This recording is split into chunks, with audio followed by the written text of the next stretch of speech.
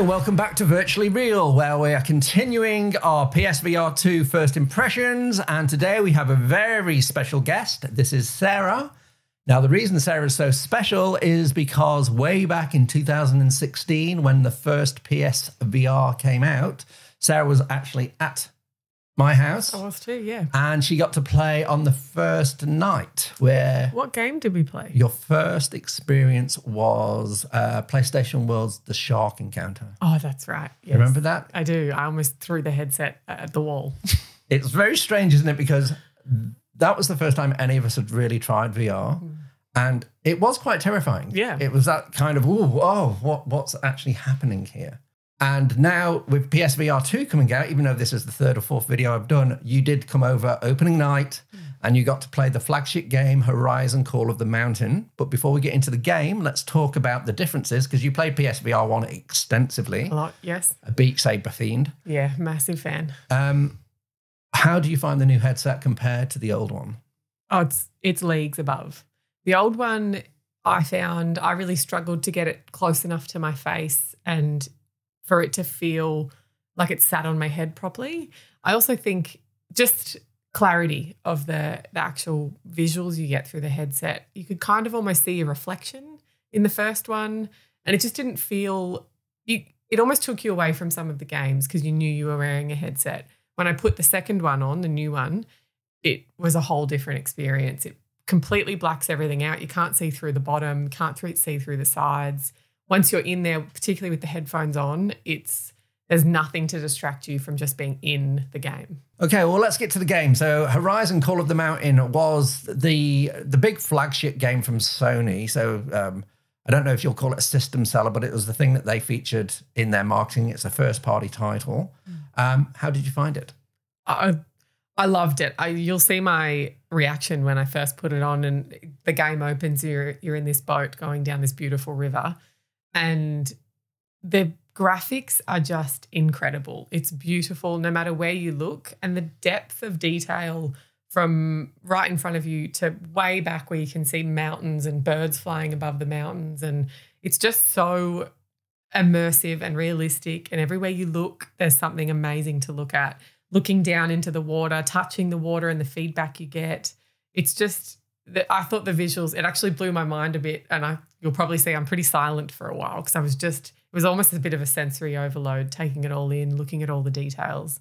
Um, incredible. They've done such a good job. Oh, I like this. It's a bit. Oh, oh, oh my golly gosh! Walk in the light you in the light, right? We Wow. Left him for the Glinthawks. oh my god! Wow. In the military, and she still believes in justice. So the boat ride, it's pretty static. You're just in there, and it's, I, I feel like it's a nice introduction because you you're not moving around, have to, to do anything. It's like, oh, I'm just going to sit here and just take take in mm-hmm. what's actually happening. You can look at your hands and the the adaptive touch, so you can actually see your fingers and make different hand shapes Yeah, and stuff that's like that. cool. It's pretty cool. This is incredible. Oh, I'm doing The only place peace sign. is Dawn's grasp, and that's where that's where we're taking him. Stormbird. Stay still, you idiot. We haven't come this far to get struck by lightning. This is actually 10 times better. This is incredible. All right. I think we're clear. Why do I keep doing the peace sign? Towards. Ooh! Oh my god, it vibrates. Shit, that thing's huge. Wow, this is so good. What's that noise? Oh my god, they look like velociraptors. Is there any fishies or anything? Oh, do I have a weapon? Oh, can I have a gun? And then, of course, you get at- attacked by what's called the Snapmaw. Yep. Uh, Snapmaw, snap jaw, I'm not sure. Basically, a mechanical crocodile. Yep. and it throws you into the water. And Yes. it gives you no instruction, but you just sat there in the water. And you played this game before. No, no, I played it first.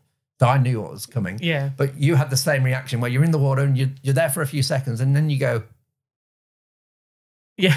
It's can, very, I, can I swim? And it's like, and it just works. Yeah. And it felt it was everything was in, intuitive. Like you kind of knew, okay, I'm swimming, and oh, I can see a ladder. I'll swim to that, and I'll grab that. And it it just you didn't need instructions, and that's something rare in a game. I find that a lot of games, particularly the more complicated ones, they really have to guide you through the process. Whereas this was just so intuitive. Ooh, it's a little water crocodile. This is actually a bit breathtaking. It's beautiful. Oh. ugh. What was that? Oh gosh.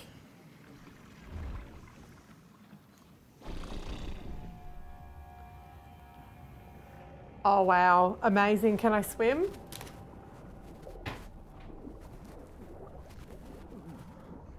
This is very cool. Very cool. Oh. Wow.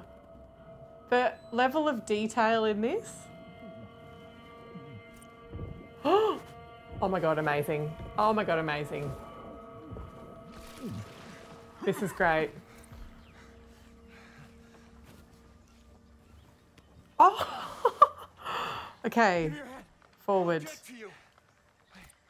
Just hold on. Gotcha, buddy. Oh, oh, nah, bit of a glitch. I gotcha. I gotcha. Oh god. Oh no. Snap, look at me next. Okay, shit, get out of here. After the dock, you started to climb. Yes. Now, I'm not a fan of heights. um, are you? Are you all right on heights? I'm all right with heights. Okay. but I immediately got a bit of vertigo. Um, not because of the height. Like I bet, like I looked down a couple of times and that was fine. I think it was just the rock face is quite close to you, and you the speed in which you climb. It just it did make me feel a bit, just a little bit off center. I sort of thought, oh, I'm a bit unsure of my bounds. oh no, wrong way. This is like a workout. Oh. Oh my gosh. Side of it. Wow. Go there or make a break for it. This is amazing. Just like the detail. Oh.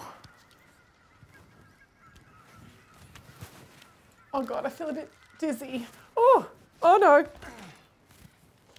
I've got height scary.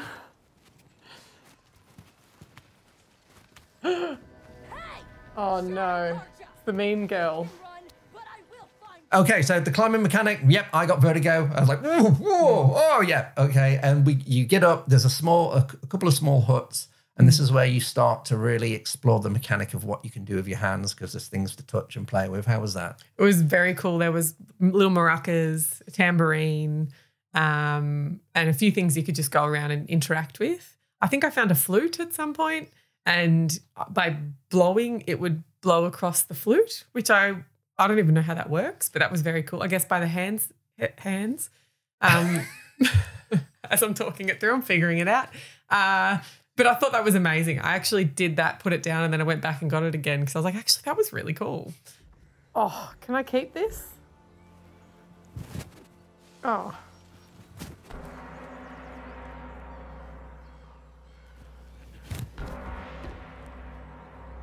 Probably shouldn't do that if someone's after me. Looks like a refugee camp. Where are they running from? So I'm guessing you don't really collect things. Oh my god, that's very cool.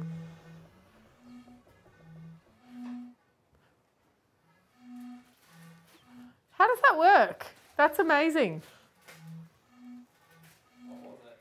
The flute. what?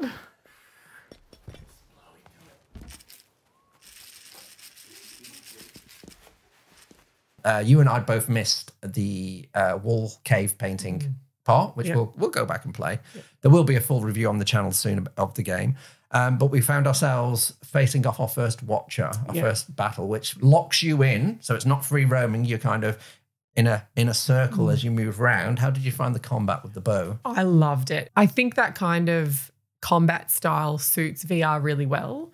I think because it's uh, it's not guns and things like that, but bow and arrows where you're grabbing the bow, you're drawing it, and you're shooting it. It's very it uses both your hands. It's I think that sort of combat is exactly what VR is made for. So I loved that. I loved the dodging around it, um, when to fire the arrow. I think I got a few good headshots. Um, I loved that. I would have. I really enjoy that kind of combat style. They've done that very well. I, I, the, the grin on my face, it was like, oh, draw, Yeah. nock, pull. Yeah. yeah. And It's like living my ultimate Legolas Lord of the Rings fantasy. Can I get the rat? Oh shit! It's one of those. I'm scared. Is it going to jump out at me? Oh my god! This machine. Shiver me timbers. Oh my golly gosh.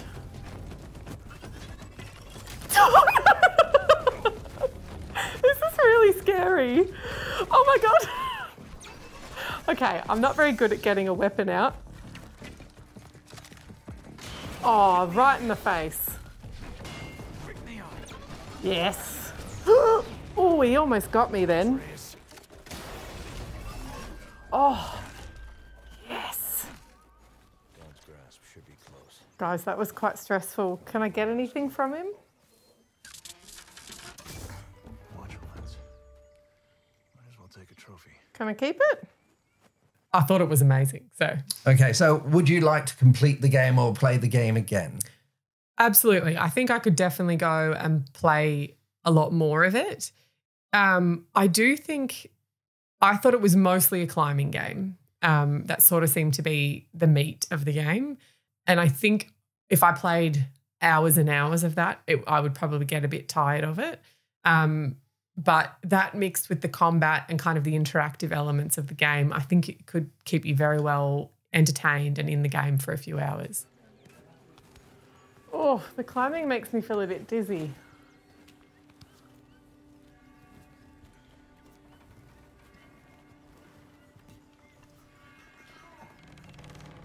Oh, these are crickety.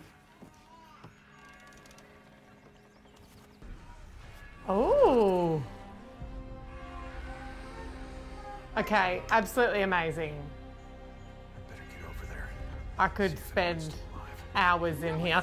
Oh, oh gosh. Got you. I knew I didn't like her. I think by the end of that 15 minute intro, I was kind of getting, uh, when I was climbing, I was like, oh, hurry up and get this over and done with so I can get to the next thing. So I can imagine over six to seven hours of that, uh, it, it might get a bit old. Well, we'll give it a go. Yep, willing to try. And we'll see what happens. Okay, well, great. Well, you're obviously going to come over again at some point and Yep. play the PSVR 2. We are going to leave it here. Um, always like and subscribe if you like this content. And next time you join us, I think you're going to be seeing Rachel bust some moves playing Synth Riders. Uh, we'll see you then. Bye. Every sign off is terrible. Every, every single one.